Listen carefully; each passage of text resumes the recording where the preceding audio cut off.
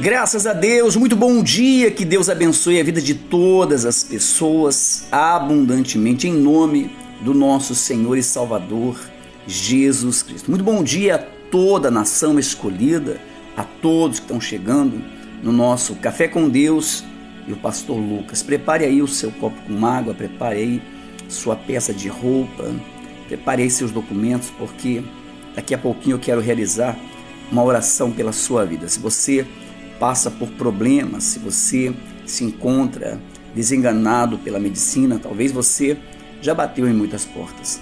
Eu quero orar pela sua vida, orar por esse problema em o nome do Senhor Jesus. Muito bom dia a todos que me acompanham pelo YouTube. Se você não é inscrito ainda nesse canal, inscreva-se para que você venha receber conteúdos que certamente vão edificar a tua vida em o nome do Senhor Jesus. Lembrando que nós estamos vivendo já. O mês é, não terminou, hoje, dia 30, mas nós já estamos vivendo a fé do mês de julho, o mês das boas ideias. A Bíblia fala que Deus apareceu a Salomão de madrugada e disse a Salomão: Pede o que tu queres. E Salomão pediu a ele sabedoria. Pediu a ele discernimento, pois ele disse: Não passo de uma criança, como posso governar um reino tão grande, um povo tão numeroso? E Deus disse: Como não pediste a morte dos seus inimigos, não pedisse riqueza, nem glória, nem longevidade, tudo isso te darei. Esse mês de julho nós vamos viver os cinco domingos das os cinco domingos das boas ideias. Eu estou consagrando esse azeite todos os dias todos os dias. E domingo, na primeira, primeiro domingo desse mês, vamos viver a Santa Ceia e eu quero ungir todas as pessoas que estiverem conosco. Talvez você está aí sem saber o que fazer, que rumo tomar, qual a decisão, qual a direção. Olha, não tome nenhuma decisão sem antes você estar conosco. Nesse domingo, às 7 horas da manhã, aqui na nossa sede em Ascurra, ou então às 9 e meia da manhã, em Indaial. Venha viver essa fé. Venha buscar de Deus sabedoria, boas ideias, para que você venha desenvolver mais ainda na sua vida, seja ela financeira, seja familiar, seja, seja qual for a área que você queira desenvolver. Nos próximos cinco domingos, nós estaremos buscando de Deus, buscando de Deus boas ideias, sabedoria, discernimento, para que venhamos vencer. A Bíblia diz: os nascidos de Deus vencem o mundo. E quem são os nascidos de Deus? São aqueles que estão cheios do Espírito Santo. Por isso, nesse domingo, convido você a participar da Santa Ceia, a viver com a gente essa fé, a busca do Espírito Santo. Tenho certeza que a tua semana será uma semana abençoada, de bênçãos, de vitórias e também de boas ideias. Muito bom dia a todos que estão chegando aí no nosso Café com Deus e o pastor Lucas. Prepare aí o seu copo com água, prepare aí a sua peça de roupa, documentos, porque daqui a pouquinho nós vamos realizar a oração da fé em nome do Senhor Jesus. Vamos com a canção? Já já eu volto eh, com a palavra abençoada para a sua vida em o nome do Senhor Jesus. Bom dia a toda a nação escolhida de Deus. O Senhor Senhor se lembrou de mim.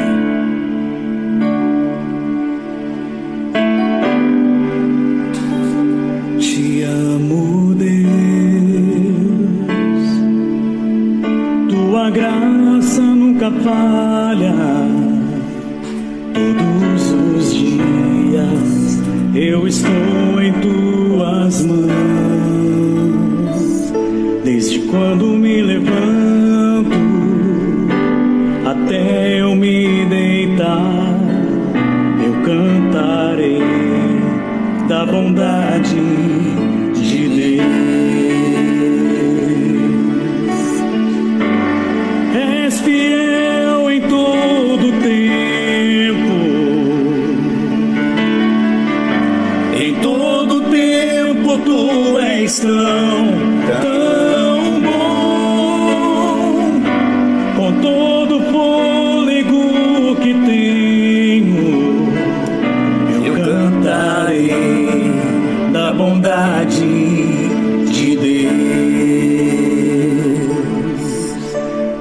doce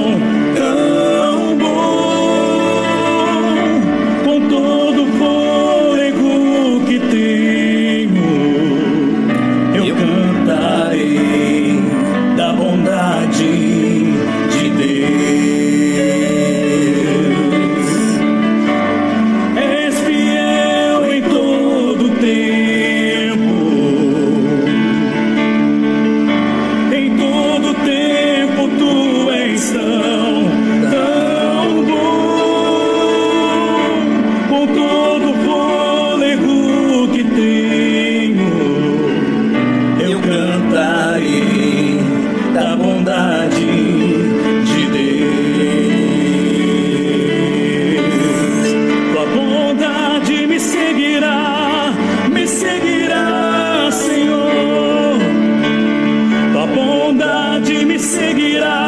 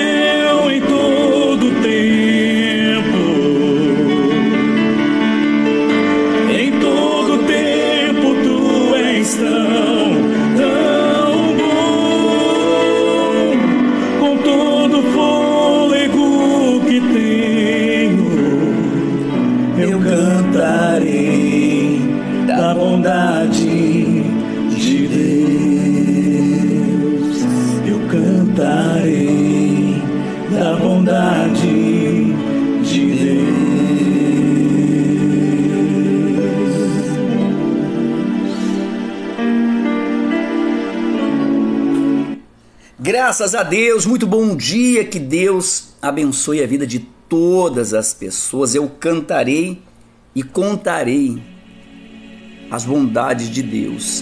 Sabe por quê? Porque Deus, Deus ele é fiel em todo o tempo. A palavra de Deus, ela não cai ao chão, muito menos ela volta vazia, mas ela vai direcionada para aquilo que lhe foi ordenada e vai prosperar. Essa palavra, seja de cura, seja de prosperidade, seja de transformação, libertação ou salvação, não importa qual seja o problema, a diversidade que você venha passar. Se você confia, acredita, teme, treme sobre esse Deus, Deus ele vai fazer você colher frutos bons. Deus ele vai manifestar a sua glória, a sua misericórdia sobre a sua vida. Mas é importante que você permaneça na presença de Deus. Nem sempre é, os desertos ou as lutas elas vão permanecer. Deus, Deus, ele é quem coloca limite em tudo.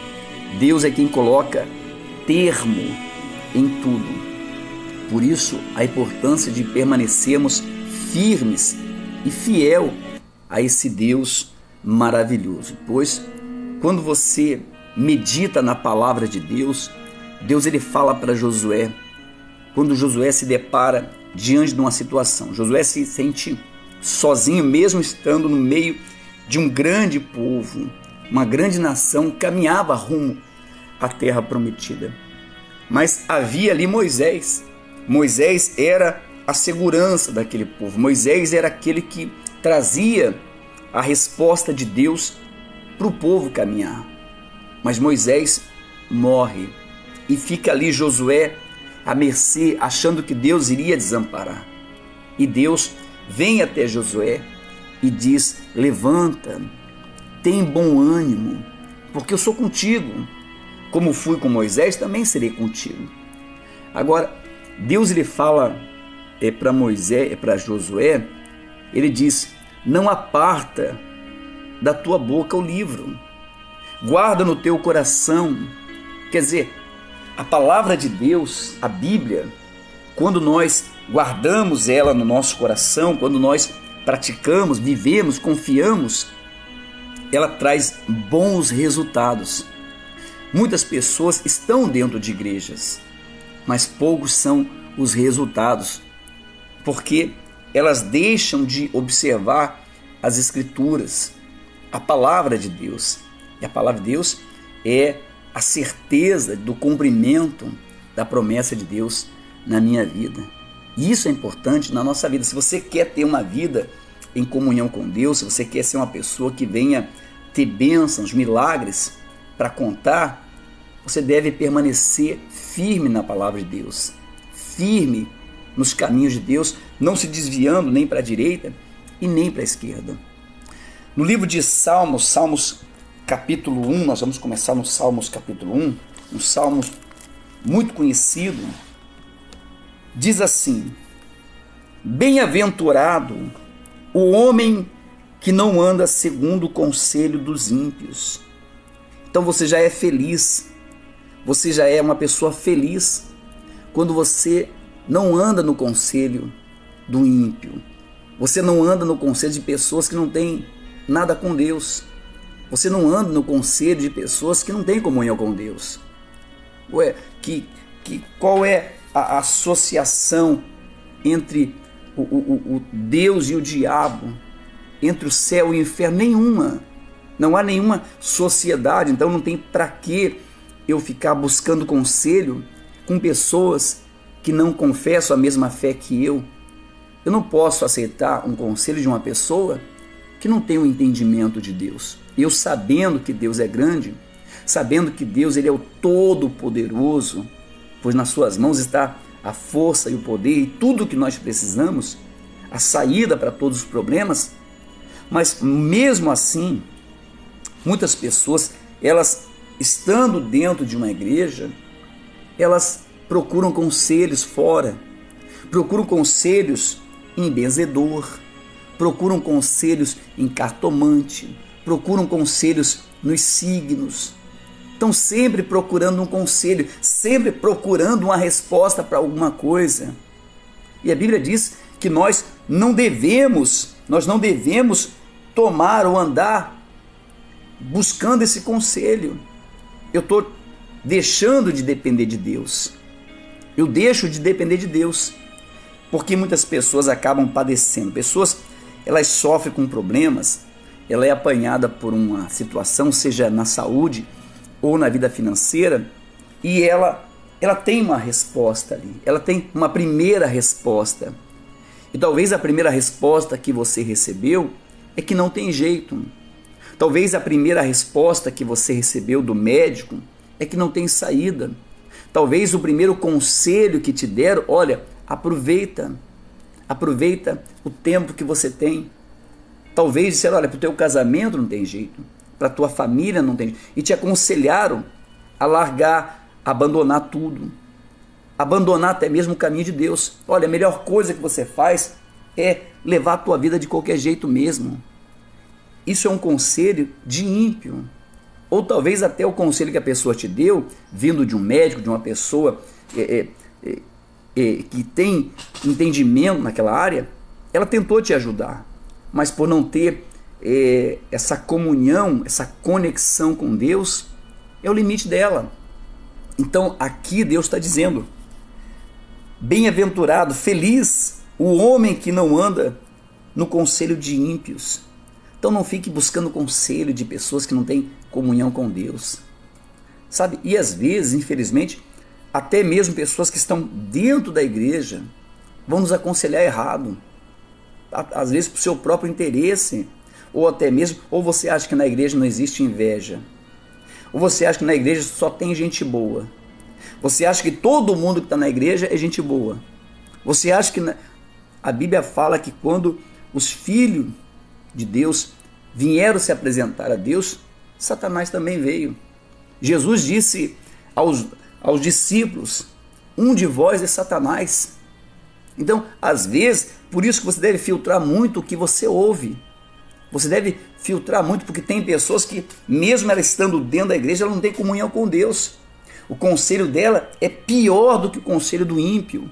É pior do que o conselho do ímpio, porque sabe que se você colocar a palavra de Deus, você buscar conselho nas Escrituras, buscar conselho de Deus através de uma fé, de uma oração, de uma busca, Deus vai te dar uma saída.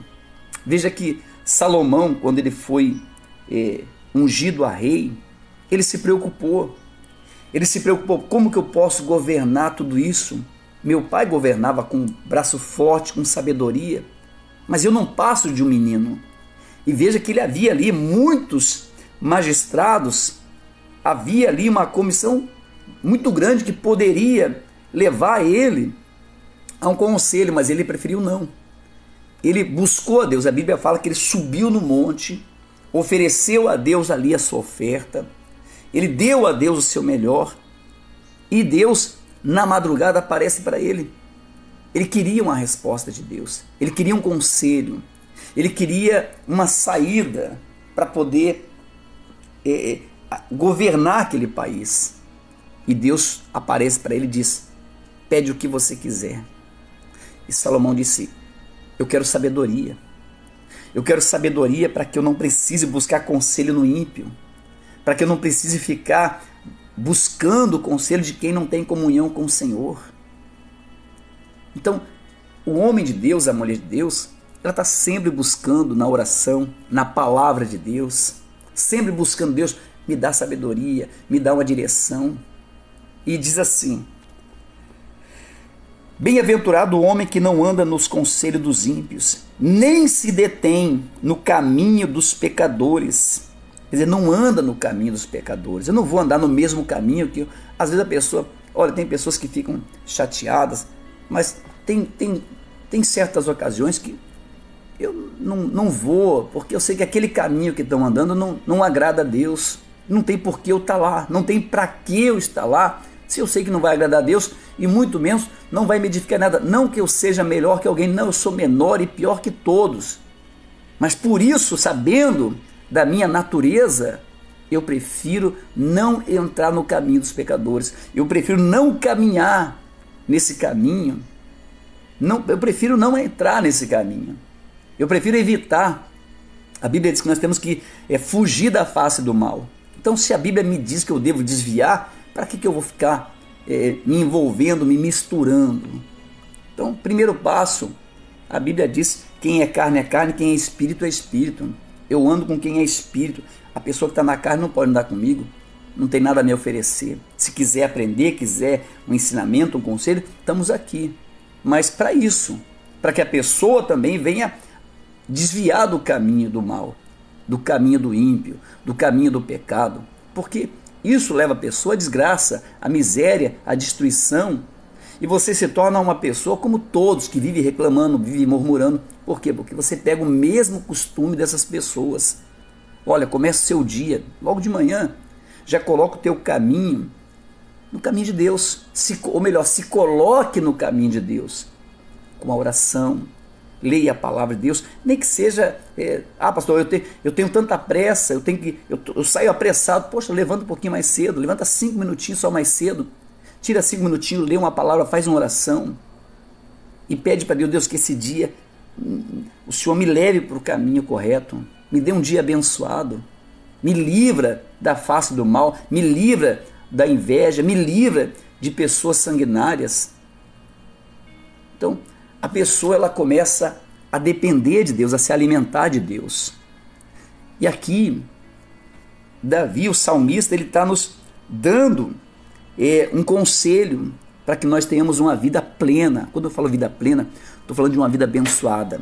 Eu estou falando de uma vida de prosperidade, uma vida de saúde, uma vida de paz, longevidade.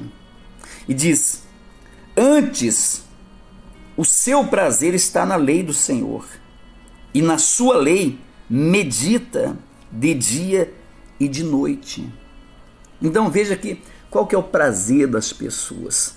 Olha, você se você andar aqui na cidade, aqui ou qualquer outra cidade, você vai ver muitas igrejas, todas quase, vazias. Agora, você passa em qualquer boteco, tá cheio. Qualquer rodinha tá cheio. Por quê? Porque o prazer desse povo é isso. O prazer dessas pessoas é estar tá ali bebendo, sabe? E destruindo a sua própria vida. Eles escolheram aquilo ali. E nada contra, cada um escolhe e faz o que é da sua vida.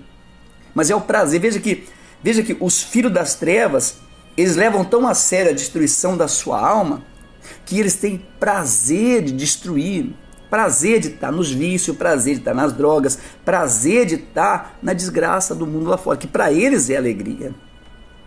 Aí eu falo que eu sirvo a Deus, mas eu não tenho prazer. Eu tenho prazer de estar na presença de Deus. Eu não tenho prazer de ler a palavra de Deus. Eu não tenho prazer muitas vezes de ir à igreja. A pessoa fala que ama Deus, mas quando fala de ir à igreja, ela, ela sabe, não tem esse prazer porque às vezes o prazer dela está em tudo menos em Deus. E como que pode uma pessoa vencer? Como que pode uma pessoa que ou se diz dependente de Deus se não tem prazer nisso? Ó, primeiro, para você entender, na vida, na, na nossa vida aqui, a sua vida, ela só funciona se você tiver prazer naquilo que você faz. Se você tem prazer no seu trabalho, se você tem prazer com a sua família, se você, sabe, você ama aquilo ali, aquilo vai prosperar.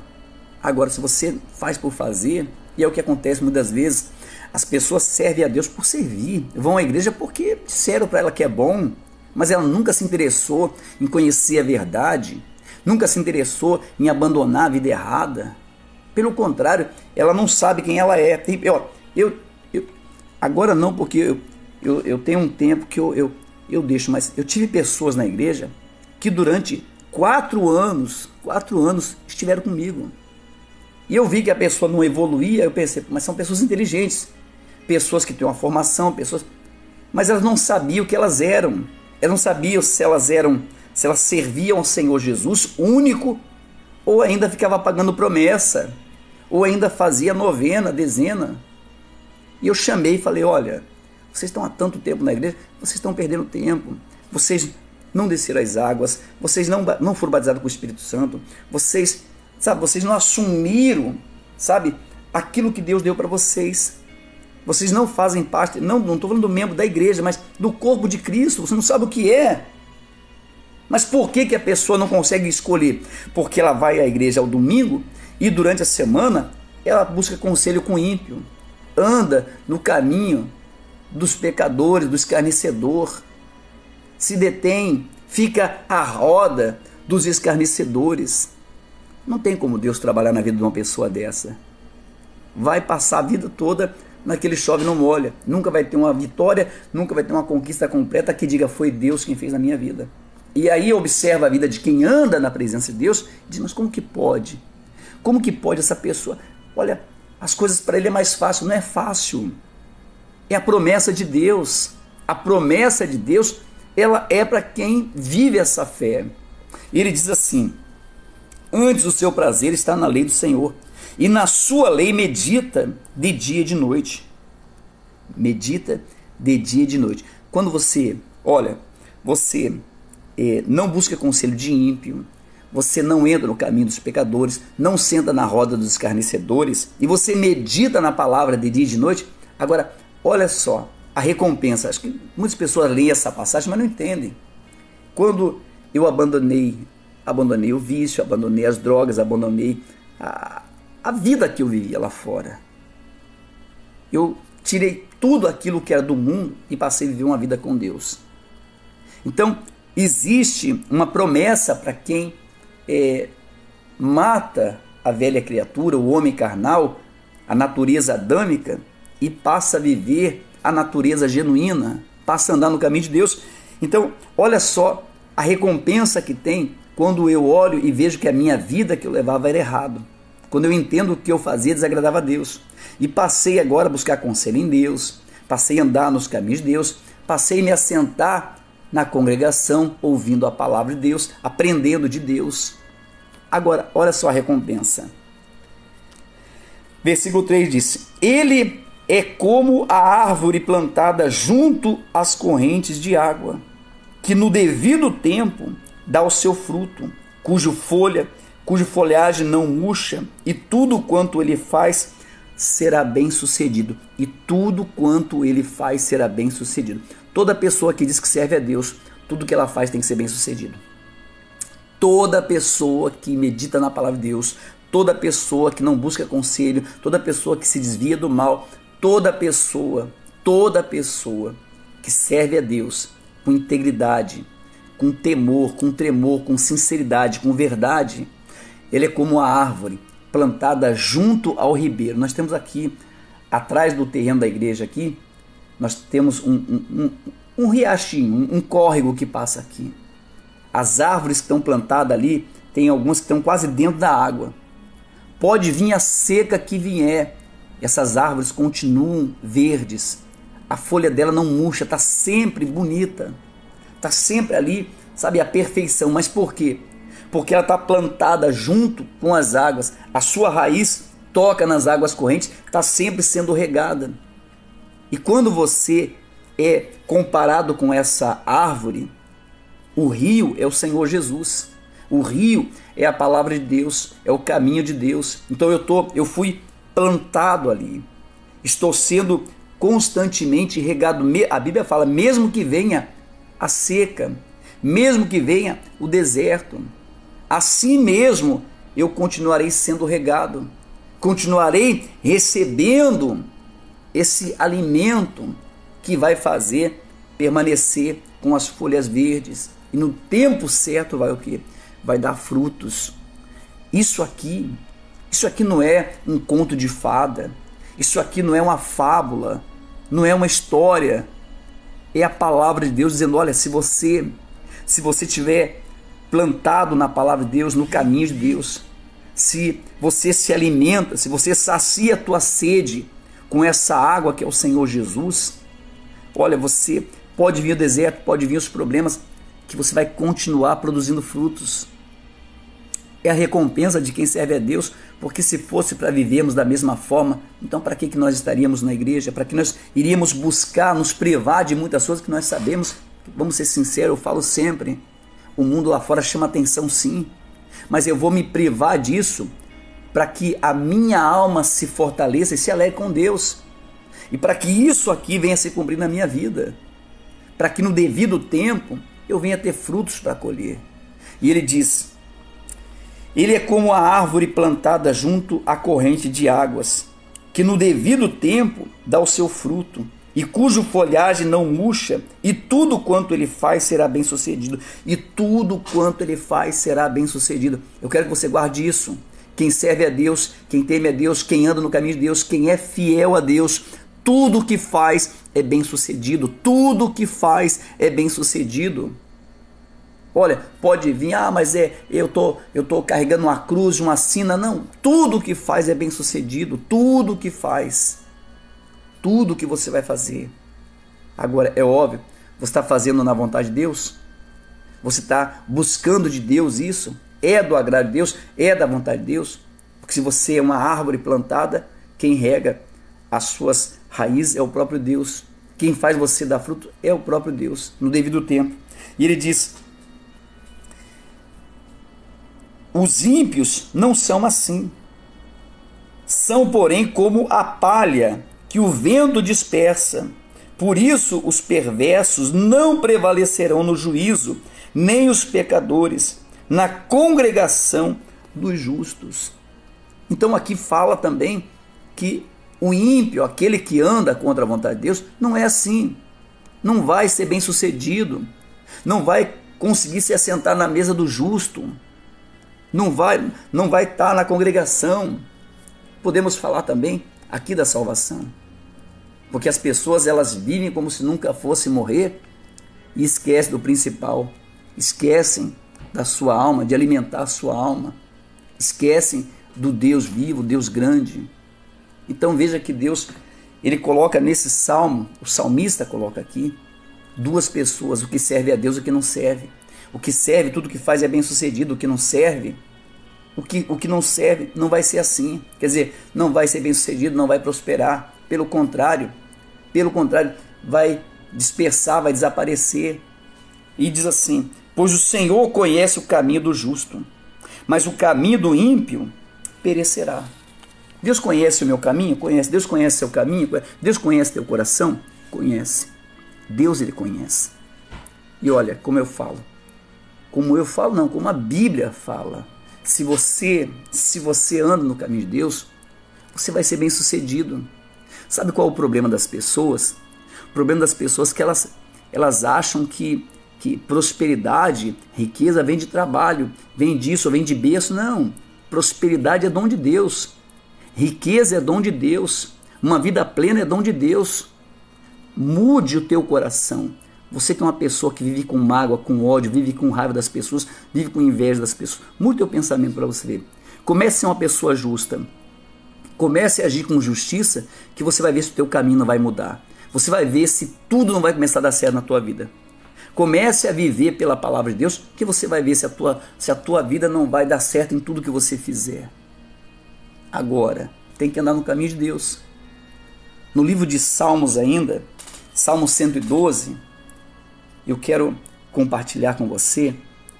Salmo 112 diz assim, ó: Bem-aventurado o homem que teme ao Senhor.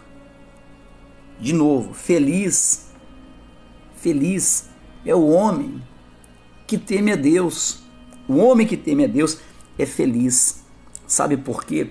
Porque o temor é a certeza da sua existência. Olha, não tem eu sempre digo para as pessoas: olha, você vem à igreja, você aprende a palavra de Deus. Agora, o praticar é você lá fora, é você e Deus.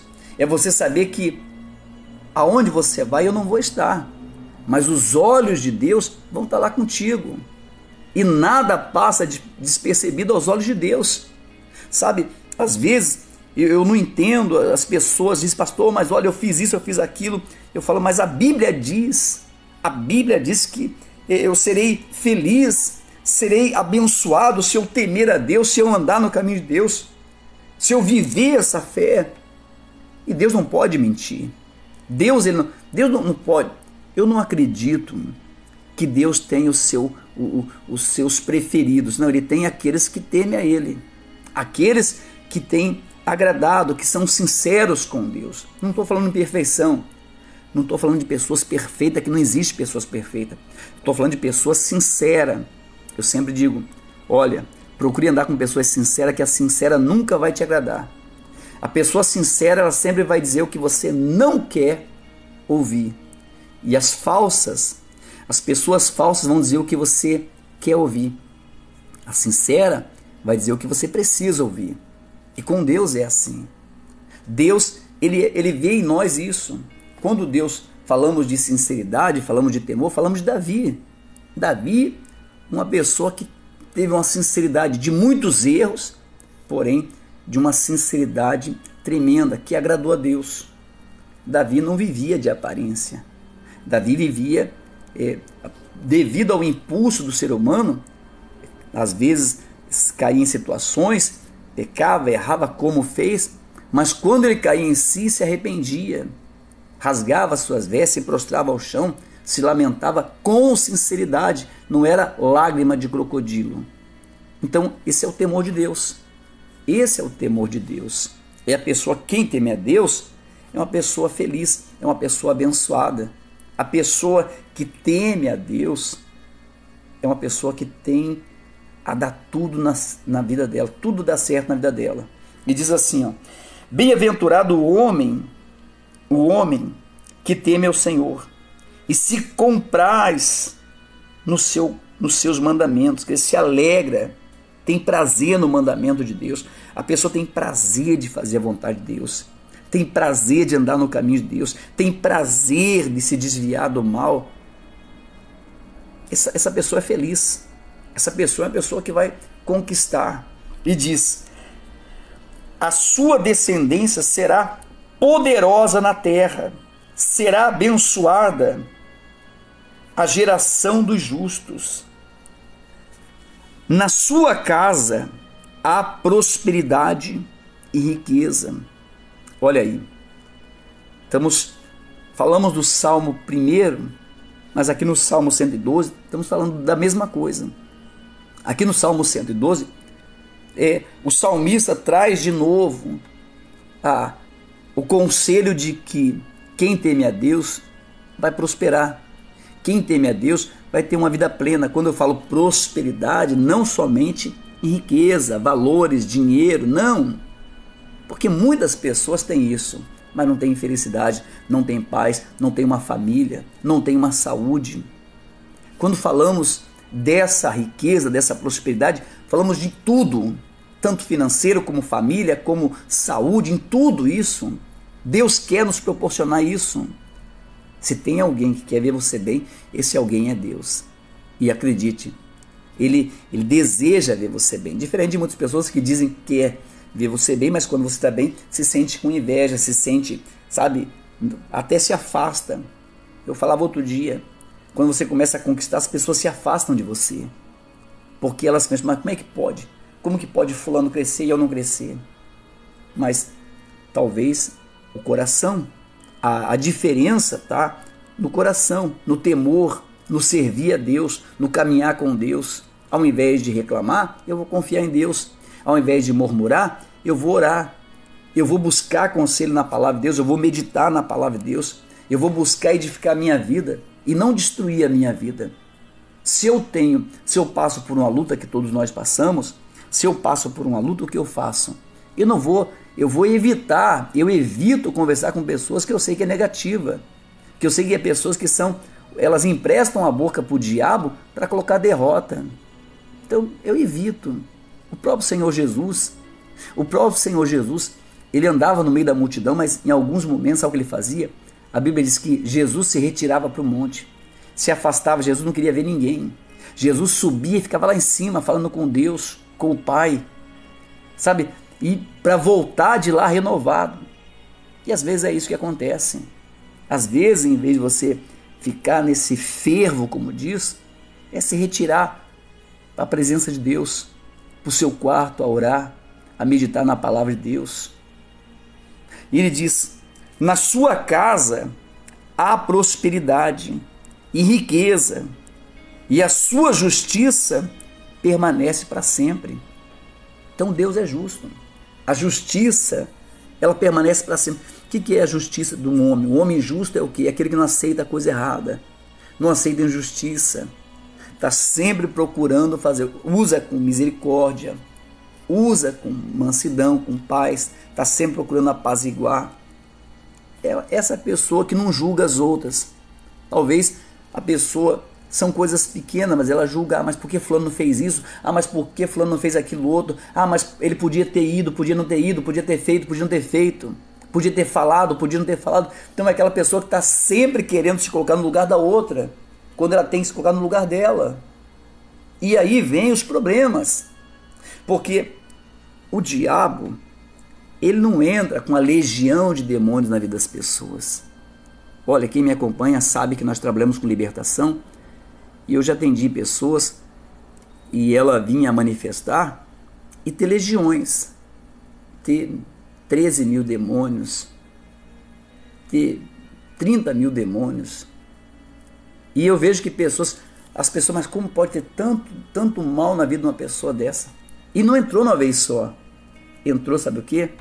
Entrou com pensamento, com a palavra, com disse-me disse. O diabo ele não precisa de uma brecha muito grande. Ele vai, uma fenda ele vai abrindo e vai abrindo, e quando pensa que não, essa casa está cheia de maldição. Por isso é importante você cuidar, procurar sempre andar com justiça. Procurar sempre andar com justiça. Não, não, sabe, evita, se tem pessoas que falam dos outros, evita essa pessoa. Essa pessoa, essa pessoa ela pode até estar na igreja, mas ela não é uma pessoa boa. Ela não é uma pessoa de Deus. Se ela está sempre falando mal dos outros, sempre conselho é uma coisa e falar mal é outra. Colocar dúvida é outra. Então a justiça do homem de Deus vai sempre permanecer. A justiça a quem é justo vai permanecer com essa com essa bênção que diz na sua casa a prosperidade, a riqueza e a sua justiça permanece para sempre. Ao justo nasce luz nas trevas, e ele é benigno e misericordioso e justo. Então, quando você é uma pessoa justa, ainda que você esteja passando por problemas, estamos falando de uma justiça divina, porque a Bíblia diz que não há um justo sequer. Somos justificados na palavra de Deus, somos justificados no nome de Jesus. Então, quando eu busco isso e faço, ando nesse caminho, Deus ele traz a sua luz para iluminar a minha vida, iluminar os meus caminhos, me dá discernimento. Então veja que nessa passagem nós entendemos o que? Que toda vitória, toda conquista, toda prosperidade depende do que? De uma vida plena com Deus, de uma vida com comunhão com Deus. Eu sempre digo, olha, não quebre regras. Existem critérios, existem princípios que se forem quebrados, você não vence. Isso em tudo na nossa vida.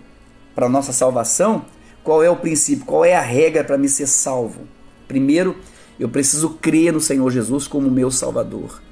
Eu preciso acreditar que Ele tomou na cruz do Calvário todos os meus pecados. Eu preciso aceitar Ele como meu único e suficiente Salvador. Descer as águas, sepultar a velha criatura e nascer ali uma nova criatura com um novo pensamento, com temor, tremor e que tenha prazer de andar com Deus prazer, viver uma vida justa daquele dia em diante e buscar todos os dias meditar na palavra de Deus. Isso vai ser vida para mim. Isso vai ser vida. Então eu tirei a mágoa, tirei o ódio. Não tenho mais inimigo. Eu não tenho inimigo. Eu sei que muitas pessoas me têm por seus inimigos, perdendo tempo, porque não é meu inimigo. É inimigo do Deus que me chamou, do Deus que me escolheu, seja o diabo que, que se levanta, que tenta querer o meu mal, tenta me tirar do altar, tenta me fazer. Não é meu inimigo, ele é inimigo de Deus. Porque Deus disse: serei amigo dos teus amigos inimigo dos teus inimigos. Davi entendia muito bem isso. Davi, quando ele, ele teve a oportunidade de matar o rei, ele disse: Não, longe de mim tocar no rei. Saber se Deus ainda não é com ele.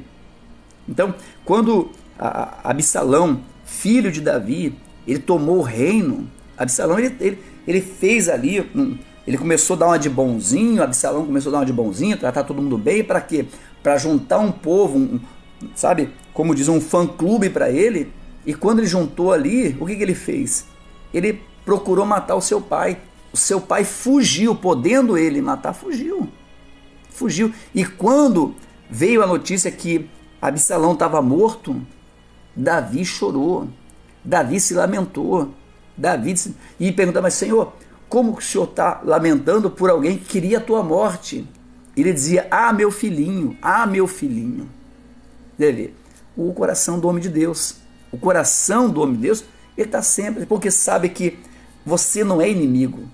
Você, quando você tem alguém como seu inimigo e aquela pessoa é de Deus, seu inimigo não é aquela pessoa, seu inimigo é o próprio Deus. Então, Muitas pessoas não entendem isso. Olha, se você é de Deus, se preocupa não se fulano é, é, mexe com macumba, com magia negra. Eles não são teu inimigo. Teu inimigo, teu inimigo não. Eles são inimigo de Deus. De Deus. Deus é o seu amigo, você anda na, na presença dele, você teme a ele, você anda no caminho dele, você se desvia do mau caminho, você não senta na mesa do escarnecedor, você procura andar com justiça, isso é o suficiente para você ter uma vida abençoada. E diz: na sua casa há prosperidade. Então vai haver prosperidade na tua casa. Vai haver saúde, vai haver paz, vai haver harmonia, vai haver alegria, em nome de Jesus. Então, se você ainda não anda no caminho de Deus, Talvez você é aquela pessoa que, olha, vive buscando conselho, vive na casa dos outros pedindo conselho, vive na casa do parente que não tem nada com Deus. Olha, o maior fracasso dos crentes é isso. É viver em roda, é viver em conversinha que não edifica nada. Quando, em vez de buscar conselho, está lá jogando conversa fora. Então, busque conselho, ninguém pode aconselhar. Busque ajuda, ninguém pode ajudar. E qualquer pessoa que venha no meio dessa conversa, mudar o rumo dessa conversa, querer levar para outro lado, falar mal dos outros, levante e saia. Levante e saia. Para que você não venha, é, por esse fato, perder a sua bênção. Seja como uma árvore plantada junto ao ribeiro. Plantada não pode tirar. Se tirar, ela morre. Se você sair da presença de Deus, você morre. Se eu sair da presença de Deus, eu morro. Por isso que as pessoas estão morrendo. As pessoas estão morrendo espiritualmente porque elas foram arrancadas, elas, elas se arrancaram da presença de Deus. Nesse domingo eu quero convidar você para estar conosco. Às sete da manhã, aqui na nossa sede em Ascurra, Santa Ceia, Santa Ceia e também eu quero ungir todas as pessoas com o azeite das boas ideias, para que Deus venha te dar discernimento. Você quer conselho, faça que nem Salomão. Vamos buscar em Deus esse conselho, tá certo? Hoje o nosso café com Deus, todo especial, vai para o seu Vanir, que está completando aí mais um ano de vida, né? Que Deus abençoe seu Vanir, nosso obreiro, né? Completando aí mais um ano de vida, em o nome do Senhor Jesus. Que Deus possa aí abençoar. Tá trabalhando, né? Sexta-feira tá trabalhando. Que Deus abençoe o Senhor e toda a família em o nome do Senhor Jesus. Tá certo? Prepare aí o seu copo com água, prepare aí sua peça de roupa, em nome de Jesus. Vamos falar com Deus? Vamos falar com esse Deus maravilhoso? Senhor nosso Deus e nosso Pai. Ó Deus, em o nome do Senhor Jesus, eu entro na tua presença nesse momento e oro, meu Deus, pela vida de cada pessoa nesse momento, meu Pai, que acompanha essa oração. Pessoas, meu Pai, que se encontram tristes, aflitas, angustiadas, pessoas que se encontram sem uma direção, meu Pai, sem saber que decisão tomar. Pessoas que se encontram no fundo do poço, no lamaçal, desenganado pela medicina, vivendo abaixo de remédios fortes, medicamentos controlados, pessoas, meu Pai, que vêm padecendo por médicos, equipes médicas, não conseguiram diagnosticar esse problema e o quadro clínico dessa pessoa vem se agravando dia após dia. Mas ela, meu Deus, nesse momento acompanha essa oração. O Senhor levou até ela essa oração.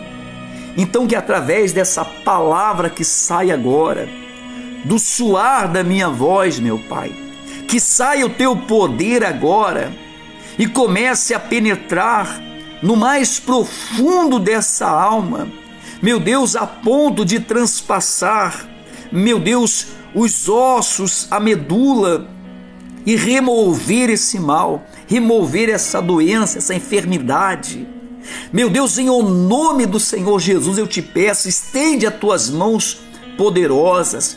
Visita essa pessoa agora que se encontra acamada no leito de dor. Meu Deus, dores insuportáveis. Cura, meu Pai, arranca essa dor agora. Essa mãe que chora pelo filho que se encontra nos vícios, nas drogas, o marido que foi embora de casa. Meu Deus, em nome do Senhor Jesus, essa pessoa que levantou cedo, meu Pai. E o pensamento dela é tirar a própria vida, é não mais viver, porque ela se sente rejeitada, ela se sente, meu Pai, desprezada, sem valor nenhum. Então visita essa pessoa agora e manifesta o teu poder, a tua glória, meu Pai. Em o nome do Senhor Jesus, dá ânimo, meu Pai. Abre portas que estão fechadas. Esse que tem uma causa na justiça, eu declaro essa causa ganha. Portas que se abram na vida financeira. Meu Deus, em o nome do Senhor Jesus, eu te peço.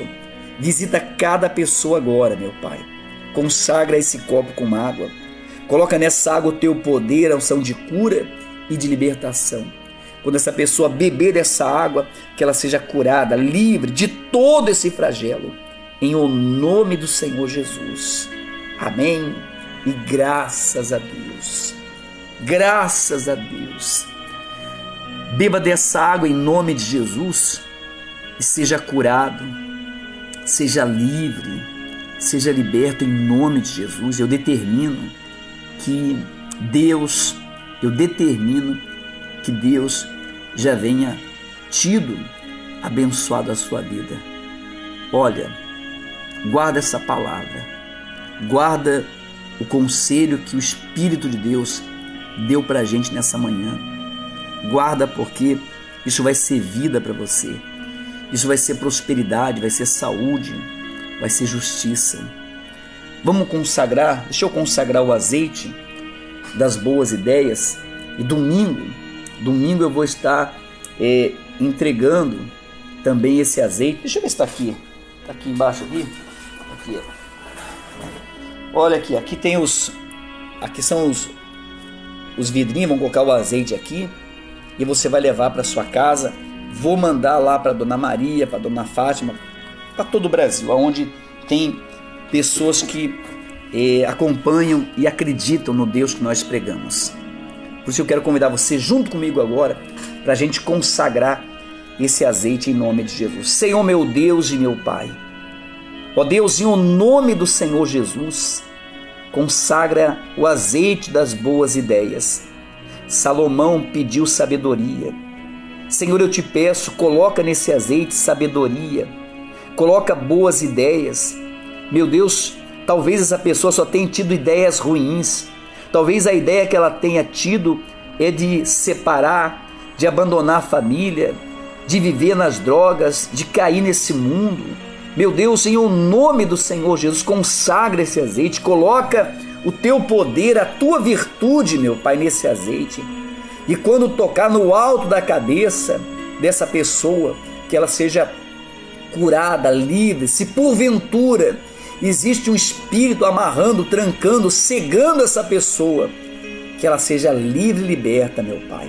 Eu te peço em nome do Senhor Jesus, pois eu consagro o azeite das boas ideias. Os próximos cinco domingos, meu Pai, teremos discernimento, sabedoria, boas ideias que vão fazer o nosso caminho prosperar de forma grandiosa, em nome de Jesus. Amém. E graças a Deus. Graças a Deus. Domingo você pode estar com a gente sete horas da manhã aqui na nossa sede em Ascurra. Sete horas aqui em Ascurra ou então às nove e meia da manhã em Indaial. Se você é de Indaial, esteja conosco nesse domingo às nove e meia da manhã, Santa Ceia. Estaremos entregando o azeite das boas ideias. Talvez você uma pessoa que fala, poxa, eu não sei, mas eu não tenho ideia para nada, eu não tenho ideia para nada, eu não sei o que faço. Então, domingo agora, eu quero que você venha buscar um pouco desse azeite para Deus te dar sabedoria, para Deus te dar discernimento em o nome do Senhor Jesus. Tá certo?